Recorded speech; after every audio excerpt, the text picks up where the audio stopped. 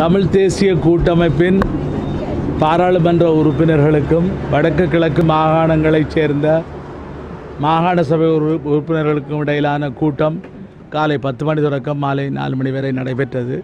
இந்த கூட்டத்திலே விசேஷமாக குறிப்பாக ஜெனிவா தீர்மானம் சம்பந்தமாக நிலைமைகள் சம்பந்தமாகத்தான் ஆராயப்பட்டு ஒரு தீர்மானம் ஒன்று எடுக்கப்பட்டிருந்தது.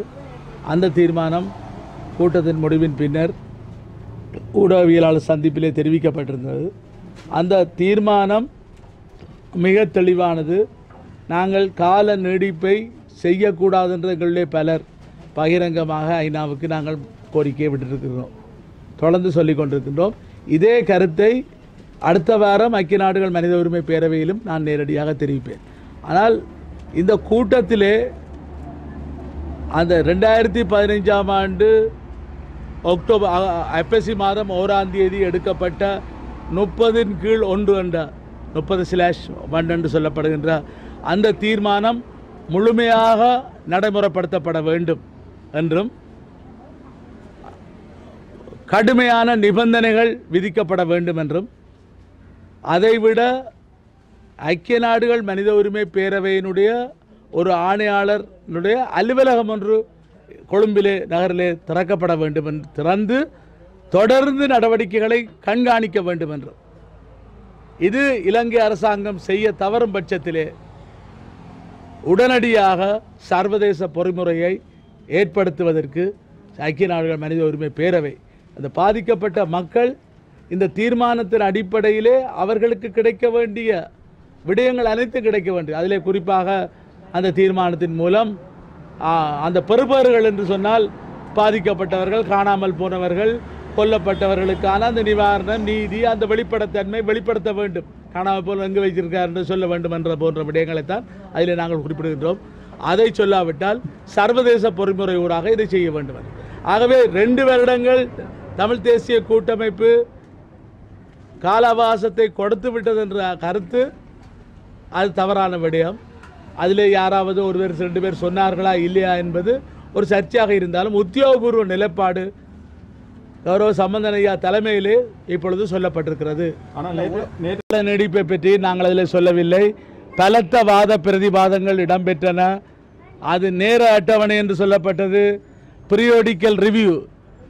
காலாகாலமாக அந்த முன்னேற்றங்கள் சம்பந்தமான விடயங்களை ஆராய்வது என்பது சொன்னது.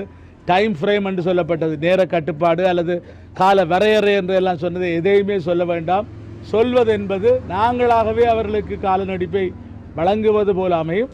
உடனடியாகவே அதாவது டே ஒன் என்று சொல்வார்கள் சைபரில் இருந்து என்னென்ன நடவடிக்கைகள் எடுக்கப்பட வேண்டும் அதை இறுக்கிப்பிடி சில நேரம் இருபத்தஞ்சாம் நாள் முப்பது நாள்லேயே அவர்கள் சர்வதேச விசாரணைக்கு போக வேண்டி வரும்.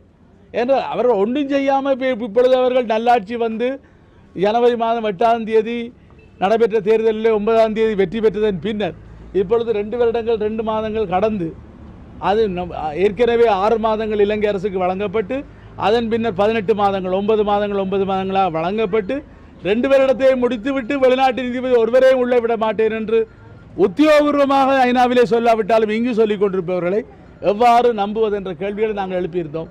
அந்த கேள்விகளை உள்ளடக்கித்தான் இந்த தீர்மானம் எடுக்கப்பட்டது. ஆகவே ஐக்கிய நாடுகள் மனித உரிமை பேரவைக்கோ அல்லது எந்த நாடுகளுக்கோ ரெண்டு வருடங்கள் நாங்கள் கால அவகாசம் கொடுத்தோம் என்று ஒரு கட்டத்தில் தீர்மானிக்கவில்லை. அவ்வாறு கூறியிருந்தால் அது மிக மிக ஆனந்தன் அவர் தன்னுடைய கருத்திலே தங்களுடைய கட்சியினுடைய தலைவர் திரு சுரேஷ் பிரேமச்சந்திரன் இந்த கூட்டத்துக்கு அழைக்கப்படவில்லை. ஆகவே நாங்கள் இதிலே உடன்பட முடியாது என்று தெரிவித்திருந்தார். இந்த கூட்டம் பாராளுமன்ற உறுப்பினர்களுக்கும் வடக்கு கிழக்கைச் சேர்ந்த பதினாறு பாராளுமன்ற உறுப்பினர்களுக்கும் வடக்கு மாகாணத்தைச் சேர்ந்த முப்பது முதலமைச்சர் உட்பட அமைச்சர்கள் அவைத்தலைவர் உட்பட முப்பது உறுப்பினர்களுக்கும் கிழக்கு மாகாணத்திலே இருக்கக்கூடிய அமைச்சர்களுக்கும் உறுப்பினர்களுமாக பதினொரு பேருக்கும் ஐம்பத்தேழு பேர் தான் கலந்து கொள்வதற்காக அழைப்பு விடுக்கப்பட்டிருந்தது. அவர் மக்கள் பிரதிநிதியாக இல்லாத காரணத்தால் அதில் கலந்து கொள்ளவில்லை.